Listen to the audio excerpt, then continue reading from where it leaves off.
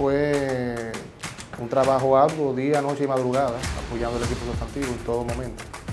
Pero hicimos el trabajo de manera adecuada para poder lograr el resultado del proyecto de ley.